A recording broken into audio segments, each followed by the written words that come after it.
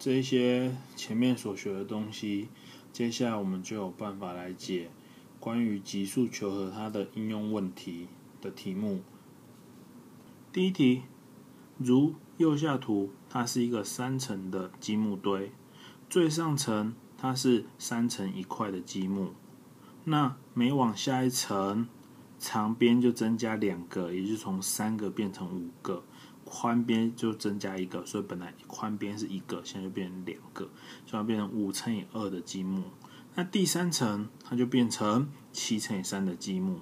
那如果按照这样方式堆了十层，那它的积木堆需要多少的积木？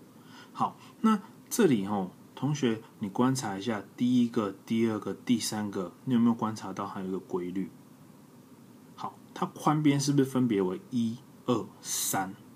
长边为三、五、七，三五七是不是一个等差？一二三也是一个等差，所以呢，按照这个这样的写下去呢，那我们就知道它的宽边呢，我们就把它写到前面比较方便看。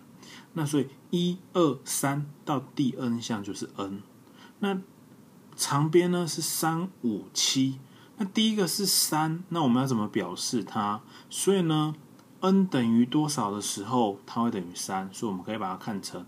二 n 加一，所以 n 等于一的时候是二乘以一加一就是三，n 等于二的时候是二乘以二加一等于五。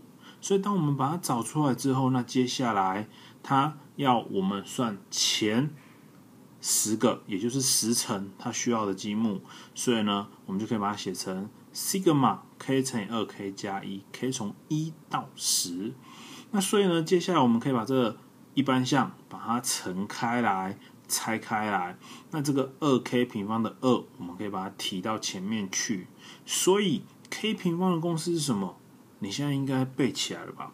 哦，k 平方的公式就是六分之 n 乘以 n 加一乘以二 n 加一。那 k 呢？k 应该同学都会啦，k 就是二分之一加 k 乘以 k。所以呢，我们把 k 等于十带进去。所以六分之 n 乘以 n 加一乘以二 n 加一，n 等于十带进去，然后呢，k 是二分之 n 乘以 n 加一呢，n 等于十，把它带进去。所以这时候我们把它计算约分，可以约的把它约掉，约分完之后呢，我们就可以得到它总共需要八百二十五个。所以这种应用问题，我们第一个要能够看出。它的一般项是什么？它是不是一个级数？它可不可以写成 sigma？那如果它可以写成 sigma，那我们就利用 sigma 的运算性质，还有求和的公式，就可以解出题目所要的答案。我们再来看一题哦，有一个卖橘子的摊贩哦，他为了哦那个橘子看起来好看呢，他就堆成了三角垛，然后摆在摊位上。他摆的方式是这样子哦。最上面这一层摆一个，第二层摆三个，第三层摆六个，依此类推下去。那如果他先要摆七层，那么请问一下，第一个他最下层第七层要几个？然后总共要几个？所以呢，我们来观察一下哈，一加二一直加到最后一个第七层嘛，就一加二加三一直加到最后一个加到七，所以这是一个简单的等差。级数求和，所以就一加七乘以七除以二，所以最下一层要二十八个。那这是一个一般的等差级数等比级数吗？不是哦。所以呢，我们呢来看一下哦，这个每一层每一层每一层，它是不是刚好是一个一般项为什么东西？为一个等差。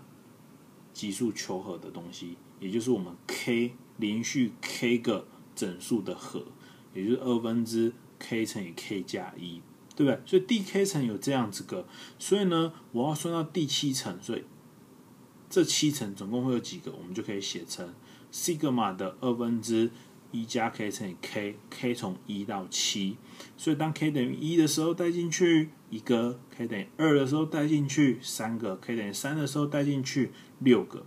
那接下来我们就可以利用我们的 sigma 的运算性质，还有我们的和的公式来求出这一题。